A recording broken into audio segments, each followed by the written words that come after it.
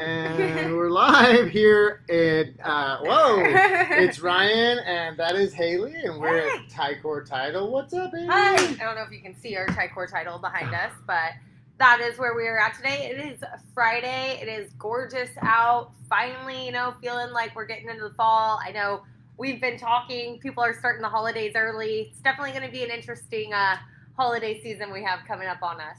Oh, for sure. I mean, it's we got 80 degree days and 40 degree nights. It's just that weird fall weather we get. Yep. If Welcome you go out with your boots and sweater and you come back sweating and just like needing board shorts. Yeah, I put on my Uggs yesterday, and I was like, "Ooh, I don't know if it's quite Ugg season yet, but it felt nice." Well, today we have asked the audience, and we, you know, we actually had a big block agent come to us this week. There was some questions regarding supplemental taxes, and so we thought, you know.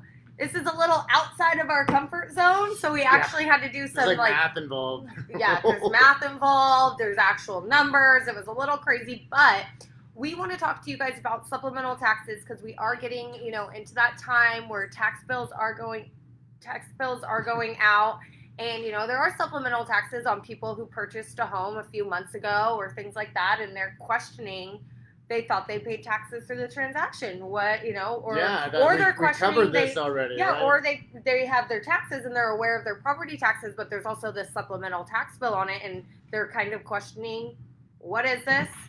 Why am I getting taxes So we were inspired to do a Ticor title talk. Ask the audience. on Supplemental supplemental, taxes? Yes. Okay. So, So supplemental taxes. Where do we start? I mean, So it's a little bit of an enigma in the, in the transaction, and then it seems to be like it can happen after close. It does. can- yeah, okay. it definitely happens. So, kind of just a little background so you guys know how supplemental taxes took an effect. Um, it was 1983. Actually, it was a California law that had passed because they wanted to give to back to the schools. It's supposed to um, create 300 million dollars in school aid a year. Okay. So that's kind of where the supplemental tax bill came from. Whether we believe or not, if that actually goes to school, who knows? It's you know We lovely so. California. We hope, We so, hope so. But this is exactly how it came into play. So, how does supplemental bills affect you? What is it, and where does it come from? So I'm guessing that there's appreciation or depreciation, and you're either getting a credit or you owe the county money. Is that So- to supplement what you already paid? Well, supplemental taxes actually takes place. So when you are in a transaction and you there's any time there's a change of ownership or any time there's new construction. Gotcha. So, and it's crazy because it doesn't necessarily happen right after close and the county comes in and assesses the property. It could take effect anywhere from three weeks, two weeks after close, the county can come in and reassess the property, or it could be up to six months. So, no wonder people get blindsided. So wait, any vesting change. So when I go from like Ryan Lipsey Trust to Ryan It- Lipsey to refi and then back, Mhm. that triggers a reassessment. it could trigger a reassessment Oh, anytime there's a vesting change. So, it's very hard to know exactly when you're going to get billed for this, when you're going to know. So, it's important to educate yourself to let your clients know that supplemental taxes are a thing.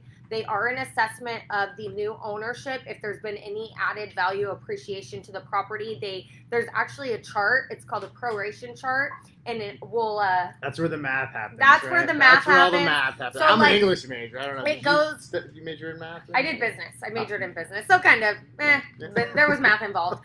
So, like, if you buy a property August, and they, so for supplemental taxes, they say July 1st. That is the day that it cuts off because that's when the new tax bills come in to play. So, Okay. if you buy in August, you are prorated for the entire year to July 1st, and so your prorated, your proration factor is 92%, Right. all the way until the next July. And then it must come down. And then so it comes down each date. exactly. I So they only prorate on You the can hit us up rate. if you want a copy of the proration chart. Yeah. We actually have a chart. We're actually going off a script this I- time, guys. Well, not really script, but No. actually have notes in front of Yeah, us. that's the math. They Um, throw math so there us. A math- stuff down. regarding um, supplemental taxes, and it does determine the proration amount on you know what month you bought your property or what month there was a vesting change to July 1st. So there is a whole tax breakdown on it. We'll make sure to send that to you.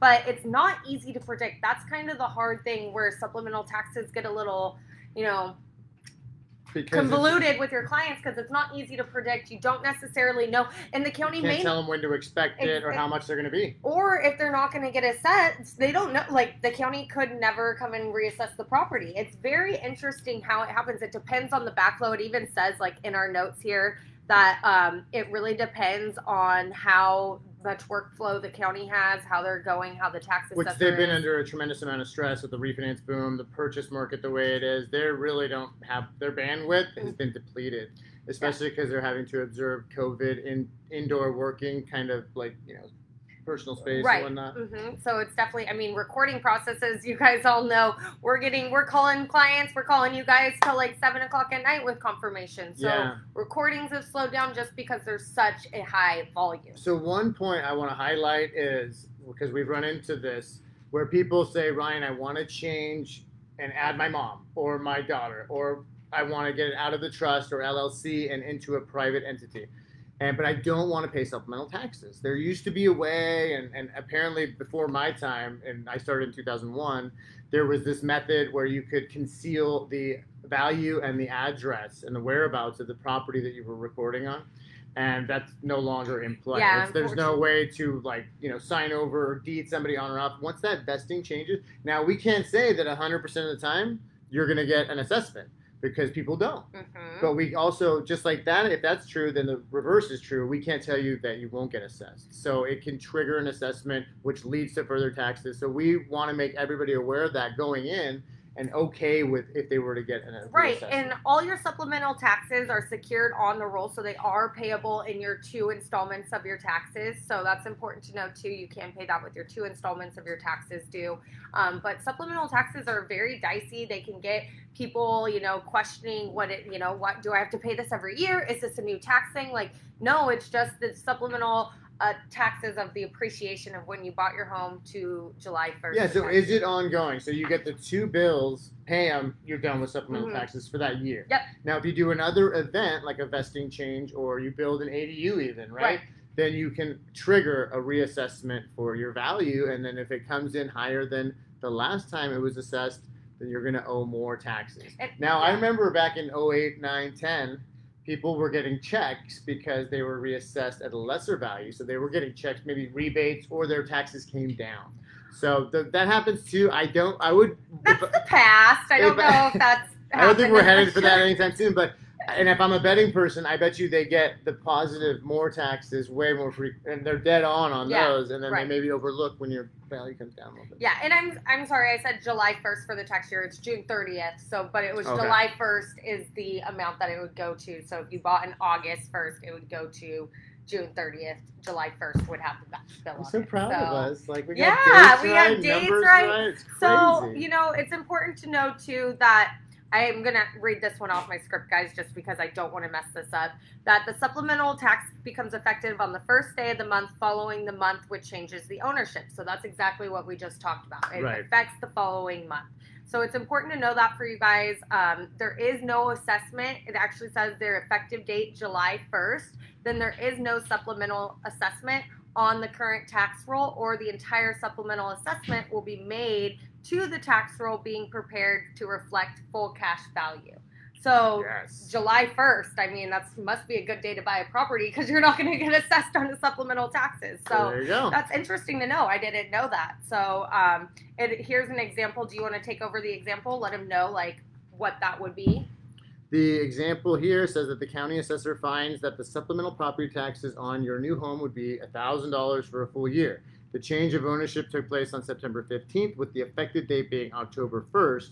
The supplemental taxes would therefore be subject to a proration factor of 0.75 and would be 750 bucks.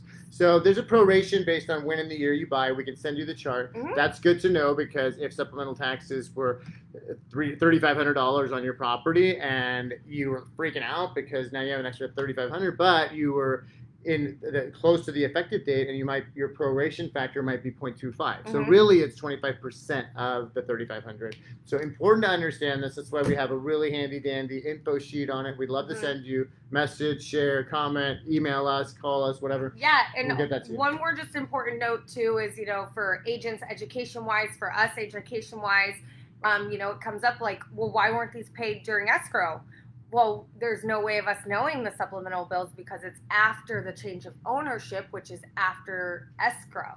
Yeah. So that's why supplemental taxes don't get paid in escrow. That's why they come up after the fact. So no. That's another so- ask the audience Yeah. is, hey, how come we can't just figure out what they would be and then pay them through the proceeds? And we'd love to do that, but we don't know the number that it's going to be until we get the reassessment from the county Mhm. the It's- next month. Yeah, it's uh, you know, so don't shoot escrow officers, don't shoot the title. Yeah. Supplemental taxes come up, it is has nothing to do. It's all based on the tax assessor, the county, when they ha- go in and have the time to reassess the property. It's based off vesting changes, so there's no way of knowing to pay it through escrow. So just be informed on supplemental taxes. We'll send you this really cool sheet. We love it. We always look at it when we need to know proration amounts and stuff. So Yeah, I mean, it's, and it's Uncle Sam, the IRS. You're not going to get away from him. Just cut Yeah. the check. Just cut the check. It- this, just you pay your taxes. FBI, CIA, IRS. Don't mess with those.